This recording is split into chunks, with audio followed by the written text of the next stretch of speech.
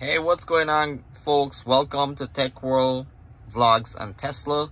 Uh, just got a new software update, and this might be late because here in Canada, Rogers was down for over um, 24 hours, so didn't get the update on time. Uh, but this is the Tesla update 2022.16.3. Same info in the release notes as before on previous update there is some new addition that's not included in this update. Um, while driving you'll see here in the video later on uh, there is updated visualization. Uh, so when you're driving your car and there's other cars around you now you're able to see more directly what type of car it is and what trim level of that car. Uh, you're able to see if it's a SUV if it's a, a sedan and, and if you look very closely you can even see the make of that car which is very interesting. Um, and also on this update is uh, new release um, support for the Tesla mic. And the Tesla mic is currently available only in China.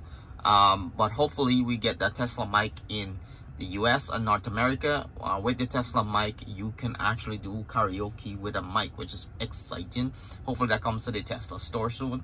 Um, other things to note is the same thing driver profile has been updated to add Spotify in login.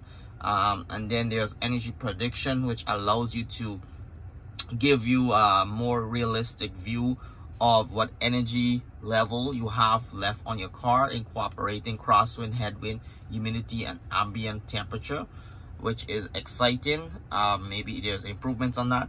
Other thing that's not included in this update but it's also part of this um, major update is now you're able to navigate to a Tesla supercharger and if the supercharger becomes unavailable because there's too many vehicles there the system automatically um, reroute you to another supercharger within the area that has an available spot when you get there and this is done through the autopilot um, software so if you have autopilot and you navigate into a supercharger with this update, if that supercharger is not available, you'll be automatically rerouted to an available supercharger.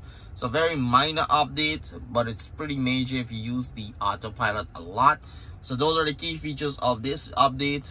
I uh, hope you guys can subscribe to the video, like, share, leave a comment below.